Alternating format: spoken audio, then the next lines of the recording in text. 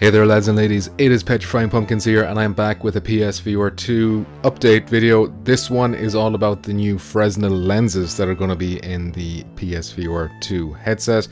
Now we did get confirmation recently thanks to the official PSVR 2 website that Sony put up that the PSVR 2 is indeed going to be using Fresnel lenses.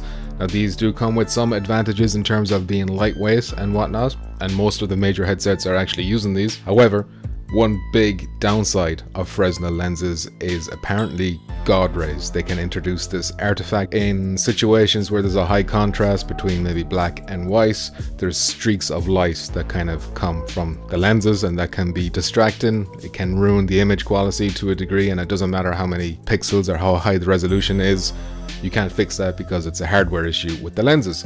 So this is something I was a little bit concerned about with PSVR 2 when they confirmed that it was Fresnel lenses, but thanks to this article from Upload VR, which has discovered a patent which was filed by Sony all the way back in 2020, which isn't that long ago really. It looks like Sony has something in store up its sleeve to combat God rays. So I'm just going to read this article, the important bits anyway. And this is, as I said, Road to VR and it was written by Ben Lang. So we learned last week that PSVR 2 will use Fresnel lenses, which have a range of advantages over the traditional lenses, but also come with a big downside, God rays. However, Sony may have a trick up its sleeve that could give the headset's Fresnel lenses a big advantage over the competition. So, are we forever doomed to suffer God rays in VR headsets with Fresnel lenses? Maybe not and PlayStation 2, although I assume he means PlayStation VR 2, might be the first headset to truly address the problem.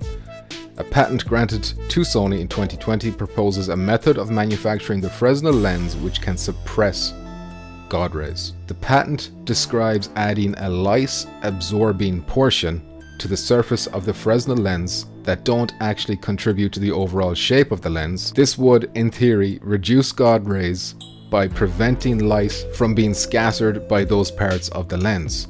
The patent shows several arrangements for the light absorbing portion, both on the surface of the lens and embedded within it. So here's the actual patent itself. Now don't ask me what the hell is going on here. I'm guessing all these little lines, these little dots, these are the parts that maybe scatter the light or something like that to prevent the, the God rays. I'm not an optometrist, but I trust Sony have done their homework here. Sony's patent proposes several different methods for manufacturing such a lens, one of which involves applying a mask which blocks light over the entire lens surface and then using some kind of exposure technique removing only portion, only the portion where lice is desired to pass through. Another method proposes starting with a lice absorbing material already shaped and then forming the lens around it so that the ridges align just right with the lice absorbing structure.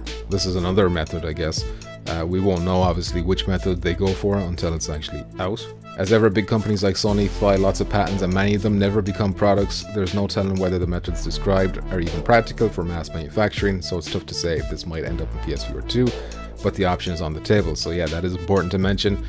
We could actually end up with shitty Fresnel lenses that still have God rays just because they've made these patents doesn't mean these patents are going to actually be a reality, uh, which is always the case anytime we're talking about patents, which is, you know, a lot. It's unlikely that we'll get any more details on PSVR 2 lenses before the company reveals the final design which is expected sometime this year. So this was a good article from Ben Lang over at Road to VR and I will leave the source for that in the description so you can check it out yourself if you want to go into more details. Also worth noting recently is that there's another story going around that Sony has not finalized the eye tracking system in the PSVR 2 and instead they've reached out to this other company, this Tobii company, which I've never heard of before but apparently they got, you know, they specialize in this kind of thing and they're very good. Uh, so the word on the street is, is that they're in negotiations with them over this, which seems very bizarre to me because how is this kind of thing not finalized? I understand it may be software based Therefore, it's possible it could be added in a patch later on if it's not negotiated in time for the launch of the PSVR 2 headset. But in terms of game developers developing a game where you're focusing on eye tracking and foveated rendering, if the eye tracking isn't working, the foveated rendering can't work, and then your design is kind of gimped until this is confirmed. I don't know, it's all up in the air. On that one, I maybe should do a whole video on that one, or maybe we'll wait for a live stream, we'll go into more detail on it. But anyway, this one is mainly about these Fresnel lenses. This is The Fresnel lenses was the big concern I had.